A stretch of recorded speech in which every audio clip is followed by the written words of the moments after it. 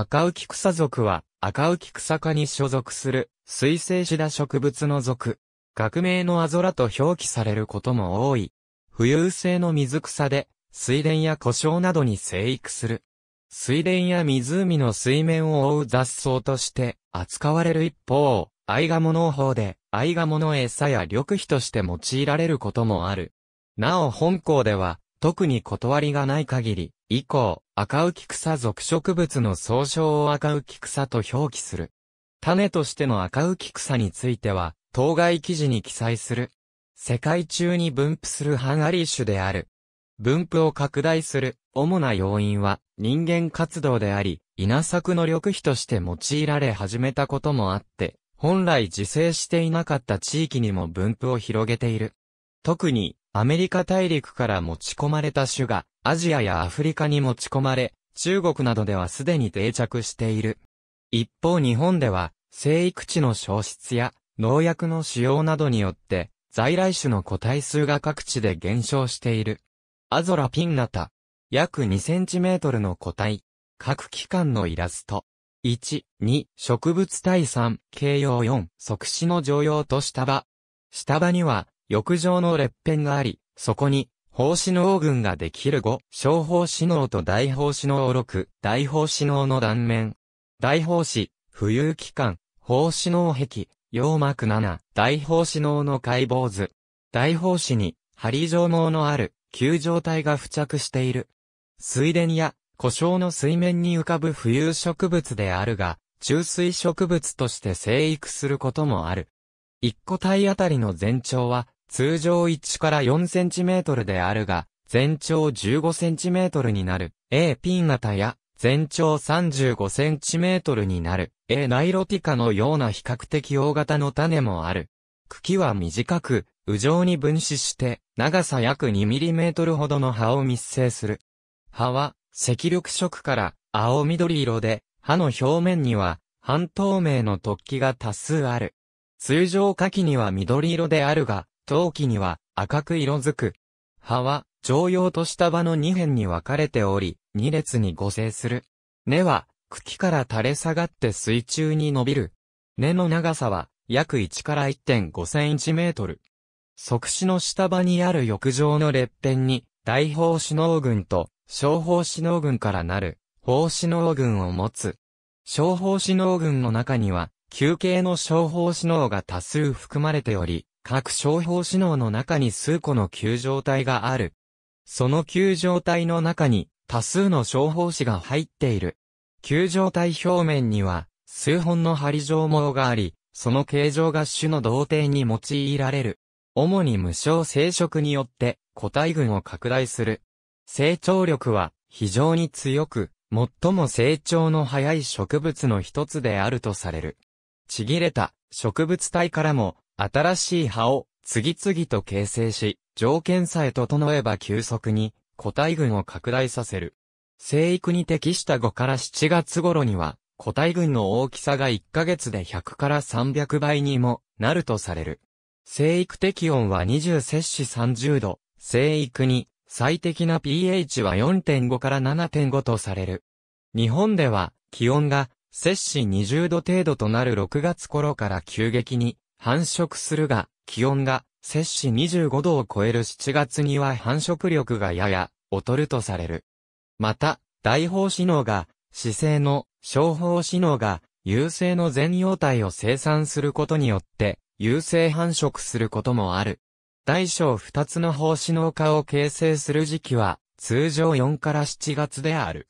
しかし、全体的に有性生殖をすることは、あまりなく、主に環境ストレスによる影響があるときに、有性生殖をすると考えられている。多年生植物として、そのままの形態で越冬するが、胞子で越冬することもある。酸性条件や弱アルカリ性条件では、生育が悪くなるとされるほか、高密度、高温条件でも生育が悪くなる。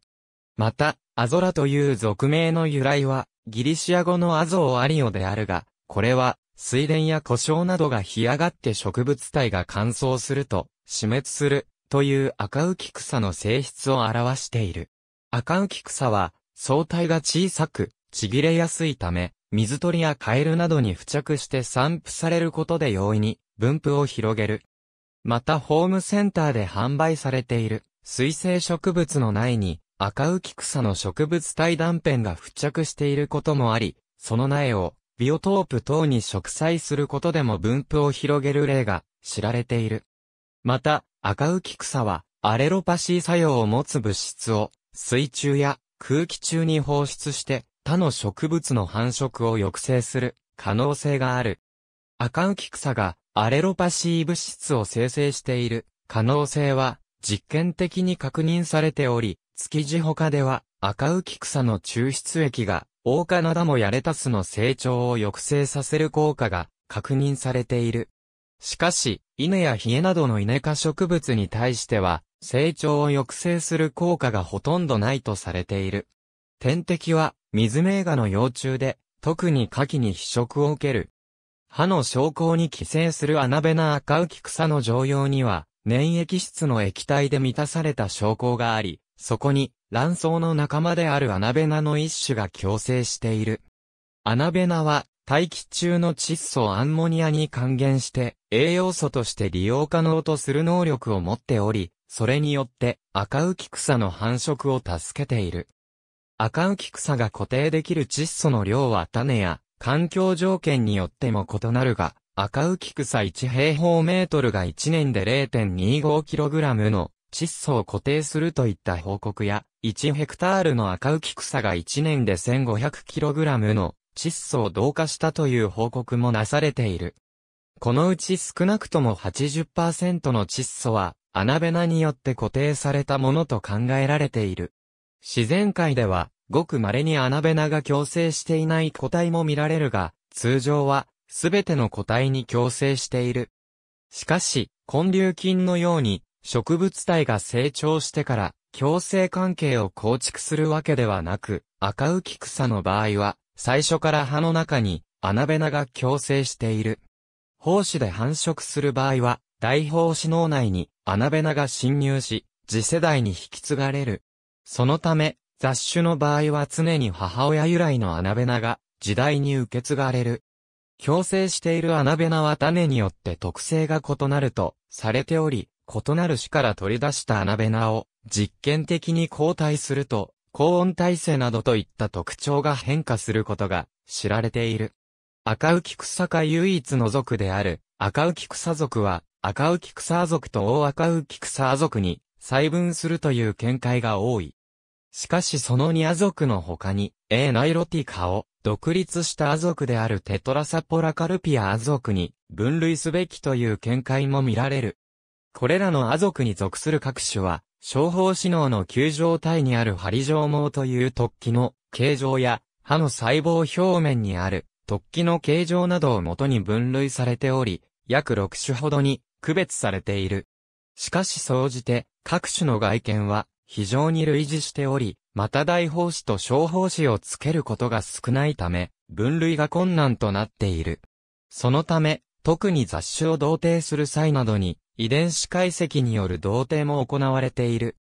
ただ、分類方法についての見解は統一されておらず、例えば日本の在来種として、赤浮草と大赤浮草が記載されているが、日本以外ではこれらの学名は別の種のシノニムとされることが多い。赤浮草の学名は A ピンナタ、または A、ピンナタサブスプ、アジアティカなどと記載され、大赤浮草は西の大赤浮草のシノニムともされることがあるほか、A、フィリカロズバリエーション、ジャポニカとして、変種扱いにされることもある。しかし、日本では、この2種の学名については、それぞれ A エンブリカタ、A ジャポニカとすることが慣習となっている。また、例えば、沖縄県の赤浮草が、A、ピンナタサブスプ、ピンナタである、可能性もあると、示唆されるなど、特に日本の赤浮草属の分類については、まだ不明瞭な点が残る。また2005年に、大赤浮草節の3種、アメリカ赤浮草、A マイクロフィラ、A メキシコナについて、これらの種は、形態的、遺伝的に区別できないとして、アメリカ大赤浮草として統合するべきとした、見解が示された。日本などではこの説が支持されており、特定外来生物に指定された際にも、アメリカオワカウキクサの学名が採用されている。上述のことを勘案した上で、館内案と渡辺を元にまとめると、種以下の分類は以下のようになる。分布域は主に館内案を元に記載したが、外来種として侵入している事例などが多いため、分布地の再検討が必要とされている。また、ここで挙げた種の他に、主観で雑種を形成することも知られている。例えば、アメリカオオワカウキクサと西のオオワカウキクサの雑種であるアイオワカウキクサが日本で確認されている。赤浮草に禁煙な山椒も赤浮草属の一種が含まれる化石。赤浮草属に最も禁煙な分類群は同じ水生シダ類の山椒の属であるとされており、分子系統解析の結果からも、両属は姉妹群を形成している。赤浮草属の化石が約9000万から1億4000万年前の地層からも記録されていることから、少なくともこの頃には赤浮草属が分化していたものと考えられており、分子系統解析の結果からは、両属は約8900万年前に分化したと推測されている。赤浮草属中の赤浮草族と大赤浮草、ア族が分岐したのは、分子系統学的解析から約5070万年前と推測されている。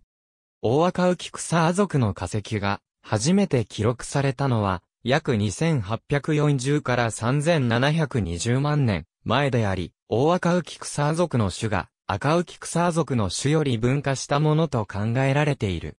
また、赤浮草と共生関係にあるアナベナは、赤浮草から単理すると生育できないことなどから、赤浮草と共進化してきたものと考えられている。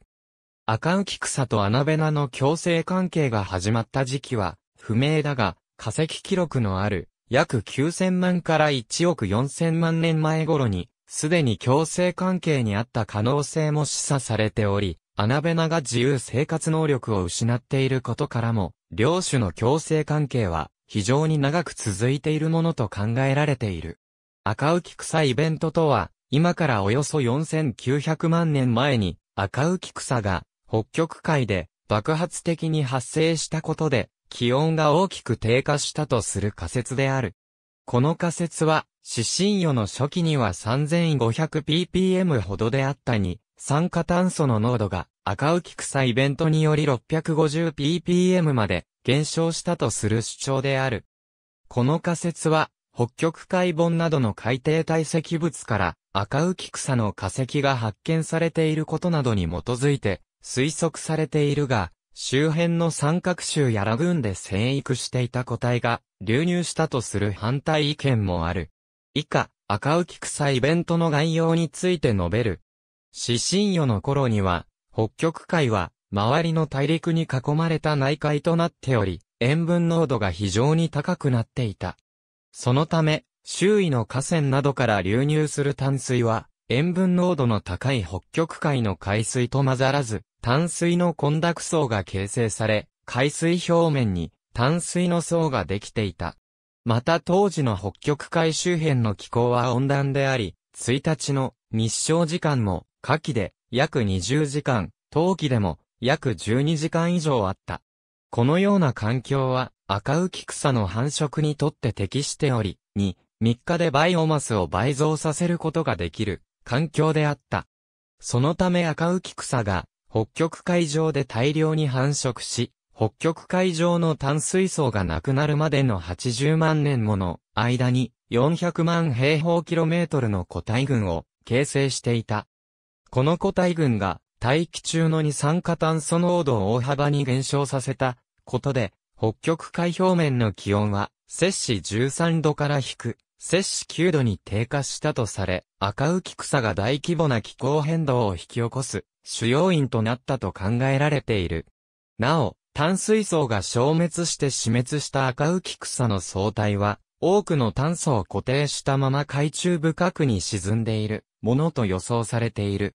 赤浮草の小胞子脳の中にある球状体は化石として残りやすく、主に第3期の地層から赤浮草の球状体などが多く発見されている。2007年現在、記録された化石種は50種を超えており、第4期の地層から発掘された2種を除いては、すべて第3期の層から発見されている。また、化石属であるアッツォレプシスとパラッチラ、パレオツラも記録されている。赤浮草の化石は、現在、赤浮草が生育している地域だけで発見されているのではなく、ヨーロッパやシベリアなど原生種のいない地域からも多く発見されている。ただし、日本から赤浮草属植物の化石種は発見されておらず、原生種の化石が発見されるにとどまっている。以下のような種が化石で発見されている。なお発掘された地質年代が判明している分については、地質年代を付記している。赤浮草の栽培上赤浮草は、シアノバクテリアであるアナベナの一種と共生しており、このアナベナの働きによって、旺盛な窒素固定を行っている。このため赤浮草は窒素に富んでおり、稲作を行う際に赤浮草を繁殖させ、それをすき込んで緑肥として利用されることがある。肥料になるというだけでなく、一面に繁茂して、水面を覆うことで、故障の不栄養化を抑制する効果や、他の雑草が繁茂することを抑制する効果があるとされている。これらの性質に加え、安価に利用できるということもあり、中国やベトナムでは、数百年間の間、水田緑肥として用いられていた。しかし、窒素肥料である尿素価格の低下などもあり、1980年代頃からは徐々に使用されることが少なくなっている。赤浮草のタンパク質含有量は20から30%であるとされており、中国南部や東南アジアでは家畜や魚の飼料としても赤浮草が用いられている。その他、東南アジアなどの熱帯域でも、緑肥としての利用が試みられたが、高温に弱い、リンが不足している土壌では成長しづらい、水調整などの栽培管理が必要となる、などといった課題もあり、定着するには至っていない。アイガモ農法における利用アイガモ農法に、大赤浮草などの赤浮草を利用することもある。これはアイガモ、アゾラ農法とも呼ばれ、1993年から日本で行われているほか、中国でも同様の農法が導入されている。この農法では、赤浮草類が作物の肥料となる上に、アイガモの飼料ともなり、雑草を抑制する効果もあるということで、多くの人々の関心を集め、普及が進められている。またその他に、中国やフィリピンなどでは、赤浮草を利用した稲作に、幼魚も組み合わせて、稲と魚を同時に収穫する農法も、試みられている。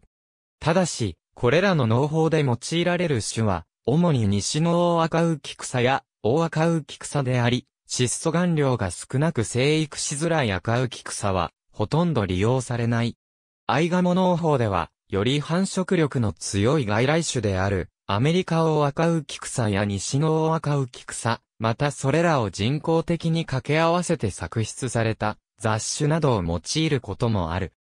特に雑種アゾラであるアイオアカウキ草は、増殖力やタンパク質量、窒素固定量が他の種より優れているとされ、農業における利用価値が高いとされている。しかし、本来自生していない種が導入されることで、絶滅危惧種である在来種と競争して駆逐する可能性が指摘されているほか、交雑による遺伝子汚染なども懸念されている。また在来種を用いる場合でも、地域変異があることが判明しているため、安易に導入することで、自然植生が拡乱される恐れが指摘されている。